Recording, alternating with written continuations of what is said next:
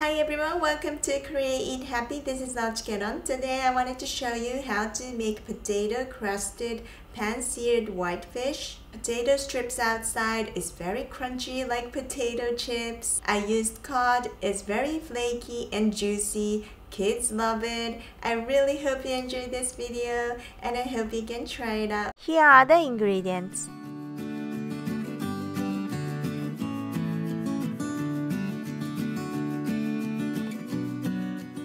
Cut fish in half or three equal parts.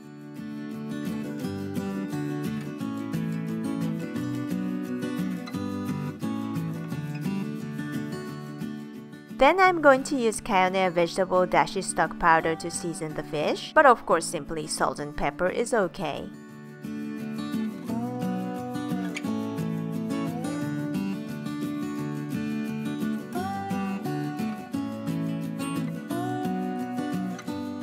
Cut potato into thin strips or use a grater. If necessary, you do want to squeeze the potatoes to remove excess moisture.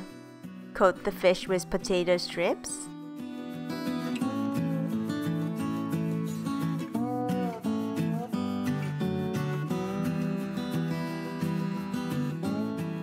Heat olive oil in a frying pan.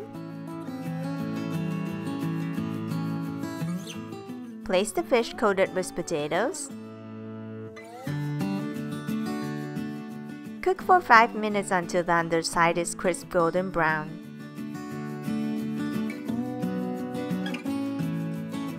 Flip them over, cook for another 5 minutes, or more on both sides if necessary. When both sides are golden and crispy, it's done! Serve on a plate, garnish with greens and lemon wedges to finish.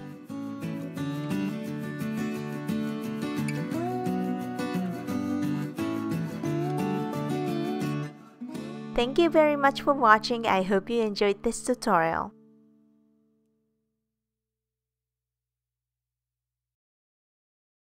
Uh,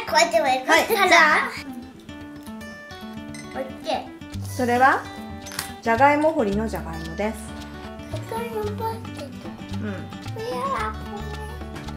お魚にお出汁が染み込んでんだよ。ママパパさんでとママ来ててママがずっと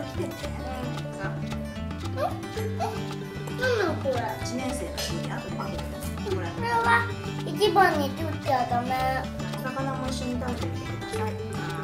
どうですか？